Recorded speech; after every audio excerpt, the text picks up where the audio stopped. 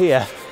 It's finally here. After years of dreaming, months of waiting, finally, my Ford Transit Custom camper van has arrived. And today, I'm going to give you a full and in-depth tour.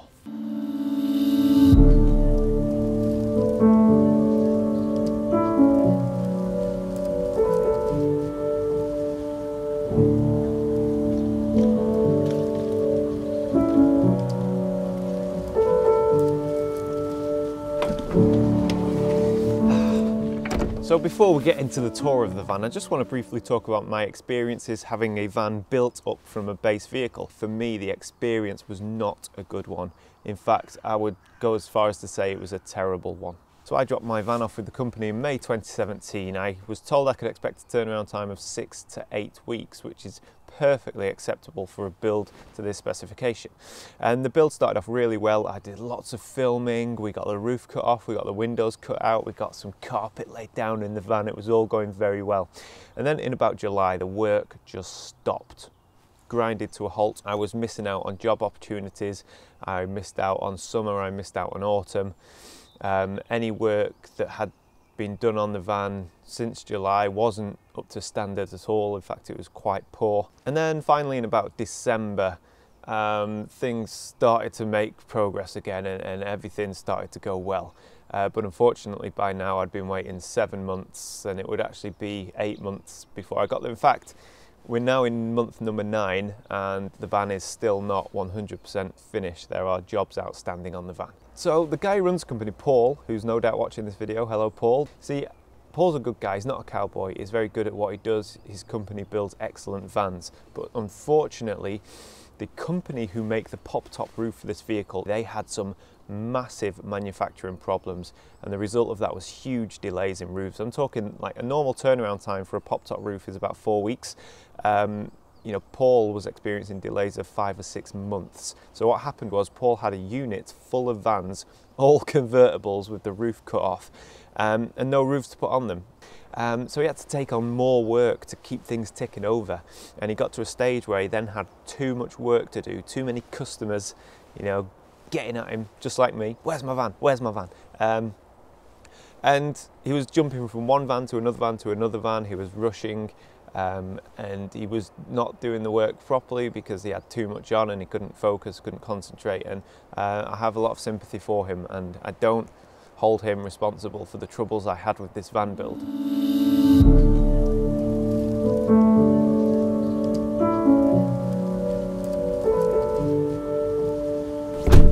So this is my Ford Transit custom short wheelbase. Um, it's 2015 and when I bought it, it had about 10,000 miles on the clock. And the reason I bought a Transit Custom over a VW, which would be the next obvious choice, was basically down to budget. If I wanted a VW with the same spec as this van, so the same age, same mileage, same, you know, Bluetooth, cruise control, that kind of thing, it would have probably cost anywhere from five to 7,000 pounds more. So I opted for the Transit Custom. I absolutely love the styling. It's a little bit bigger than the VW. It drives really well. It gets excellent miles per gallon and it's really reliable. So yeah, it was definitely the best choice for me. With regards to the build, the camper van, we'll start with the outside of the van. I had windows installed all the way around the van. This not only is because, well, it looks good, but I wanted to let in as much light as possible because it's a really small space so the more light you have the bigger it feels. On the back I've had a tow bar fitted. This is mainly to carry mountain bikes but I'm kind of thinking there might be some like storage box or something you can buy that'll go on there so if I go on longer trips I can store more stuff. That might be handy, I'll have to look into that. On the roof I've got a 100 watt solar panel. This is drip feeding power into my leisure battery. I also little things like I fitted wind deflectors on, on the windows. Basically, so when I'm sleeping at night, I can open the windows and let air flow, you know, let the air flow through and if it's raining, it doesn't matter. And speaking of rain, I've had a Thule Omnistor awning fitted. So this is obviously going to act as a nice sunshade in summer, you know, that, that one day of the year where we get some sun. But more importantly, it's going to act as a nice rain cover. So that was definitely something that I wanted on the van.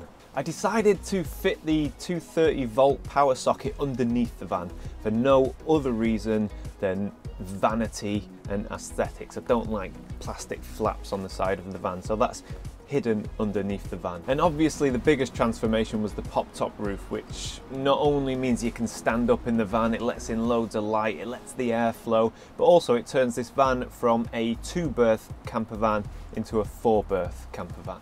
So the inside of the van is fairly standard. It's not too different to a thousand other vans you will have seen. Uh, I'll start with the interior design, if you like. Um, I've gone for a very light finish. So I've gone for a light stone colored carpet, a light floor, and nice, light, bright furnishings. And that's because it's a really, it's a small van. And by introducing light and bright colours, you can give that feeling of space, which is important in a van of this size, I think. So I've got curtains on all of the windows. They're blackout curtains, they're excellent. I've also had a curtain rail fitted to the front cab. So that is just a great solution for giving me that extra bit of privacy. I don't like the window covers that you've got to get outside of the van and strap them on. Um, I much prefer something, you know, a nice simple solution like this works really well for me. So if I could only have one luxury in this van, it would be a heater. Um, I want, you know, I live in the UK. It's freezing cold, even in the middle of summer. It can get freezing cold, you know. And I wanted this van to be usable all year round, so I installed a two kilowatt diesel heater. That's basically a heater that's plumbed straight into the diesel tank. So it uses the fuel that the engine uses, and it's amazing. You can keep that bad boy running all night, and you do not see a depletion in your fuel tank. Uh, it's very efficient. It's incredibly warm, and it's controlled by this thermostat here. Um, and yeah, it's, it's a luxury and absolutely I could not do without it. So one of the biggest decisions I had to make with this van was the bed, the rear seat. Um, and I had the choice between a rock and roll bed or a RIB bed. And I opted for a RIB bed. The rock and roll bed's cheaper, but the rock and roll beds don't have that massive parcel shelf at the back. They're configured differently. So you lose a lot of rear storage with the rock and roll bed, but with the RIB, it's so much more versatile in how you can position it. It has a huge parcel shelf. That's where the dog sits. Um, and when the dog's not in the van, that's where lots of other bits and pieces sit. I have three positions for the for the bed. So I've got my standard seating position, which is uh, okay, um, although the seat does sit a bit high. And then if I lift up the front of the bed, drop the middle bit, raise the back, I kind of get a nice lounge and that's definitely my uh, favourite position. uh, that's my chillaxing position. And then obviously the back drops down and you have a decent bed.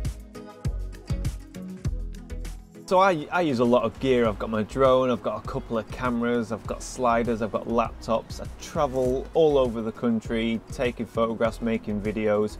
So power was incredibly important to me, probably the most important thing. So I've already mentioned the 100 watt solar panel on the roof. That is connected to a 110 amp hour 12 volt battery.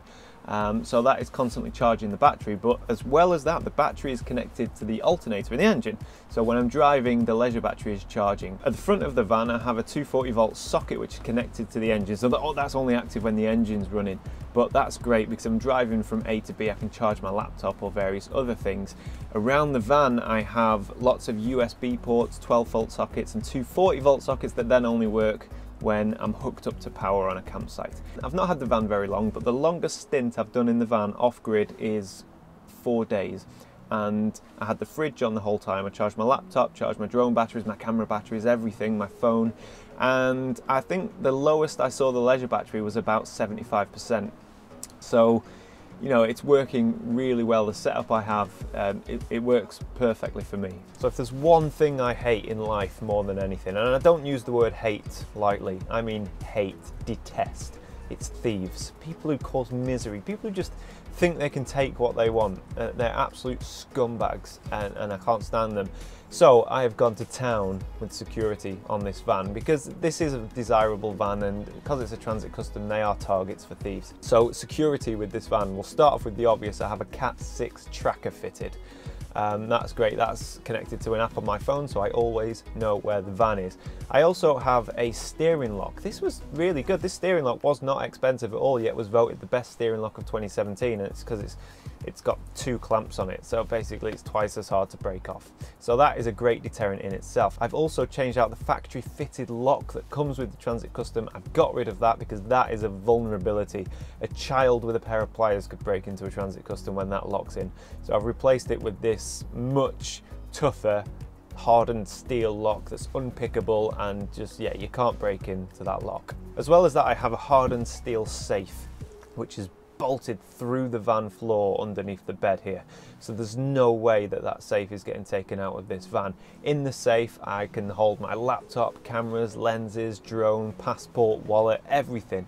Um, and that is a, that was a must for me. That's a, a, really good solution. So that's where all of my expensive gear stays when I'm not in the van myself. So the only thing that was compulsory with all my security setup was the Cat 6 tracker uh, in order for me to get insurance because Ford Transit Customs are a target, so they're quite expensive to insure, but because I'm a freelance photographer and this has been converted into a camper van, getting insurance on this van was very difficult. Um, the company who I use, Comfort Insurance, they would insure me but only if I had a Cat 6 tracker fitted and I think that's fair enough. I actually think that's standard across a lot of camper vans and motorhomes.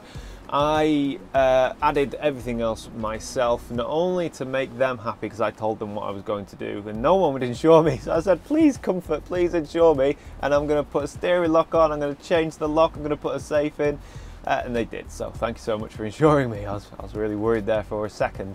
Um, but yeah, the only thing that was compulsory was a Cat 6 tracker um, and everything else I have for my own peace of mind. So because it's a small van, storage is quite important. I wanted to make use of all the space um, so that any cubby hole I want to take advantage of. Um, I've had lots of cupboards fitted all around the van. They're all soft close and they have these nice little pop out handles. Apart from the cupboards beneath the sink, those handles, those handles don't pop in or out um, and that's really annoying. That's one of a few things left to finish on this van. I have a couple of drawers, one for cutlery, the other one is for my charging gear, so I've got all kinds of cables in there, so if I ever need to charge or connect anything, that's my go-to drawer.